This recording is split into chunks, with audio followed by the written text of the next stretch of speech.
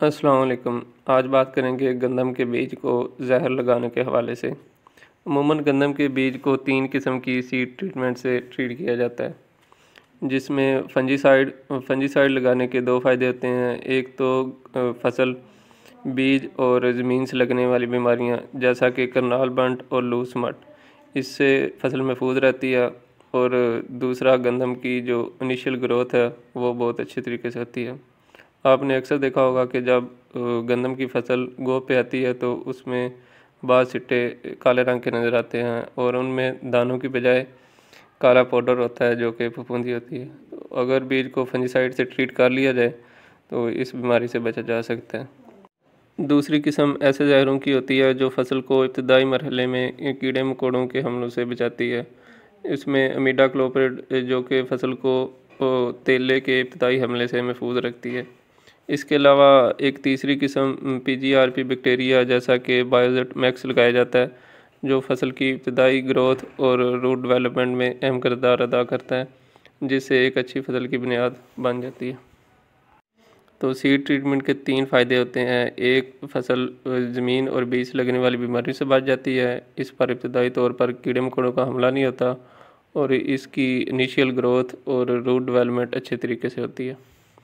तो इस वक्त मार्केट में मुख्तलिफ़ किस्म के सीड ट्रीटमेंट अवेलेबल हैं, जो कि फंजीसाइड और इंसेक्टिसाइड के कम्बिनेशन में भी होते हैं और अलहदा भी होते हैं। कम्बिनेशन में सबसे बेहतरीन खमरे एक्सल है, जो कि ज़्यादातर ज़मींदार उसी से बीज को ट्रीट करते हैं। सिर्फ़ फंजीसाइड देखें तो उसमें वाइब्रस ट्यू सबसे बेहतर जहर है।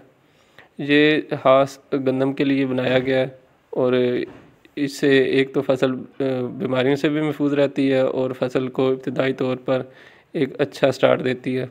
इससे इब्तदाई तौर पर जो गंदम की नशो नुमा है वो बहुत तेज़ी से होती है। तो मैं ख़ुद यही लगाता हूँ और यही रिकमेंड करता हूँ। अगर आपने इसके साथ कोई इंसेक्टिसाइड भी लगाना हो तो वो आप कोई मीडा क्लोपरेट जो सी ट्रीटमेंट के लिए होता है, वो लेकर लगा लें। तो ये एक बेहतरीन कम्बिनेशन बन जाएगा।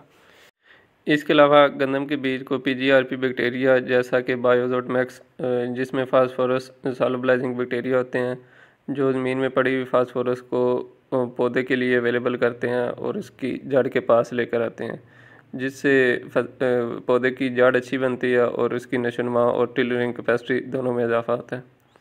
तो ये भी अगर आप इसमें ऐड करना चाहें तो कर सकते हैं। बाकी मकदार आपने दो मिलीलीटर एक किलो बीज के लिए रखनी है, किसी भी इंसेक्टिसाइड या फंजीसाइड के लिए। और इसको जो तरीका कार है लगाने का, वो मैं इंशाल्लाह अगली वीडियो में आपको लगा कर दिखाऊँगा कि किस तरह बीज को ट्रीट करना है।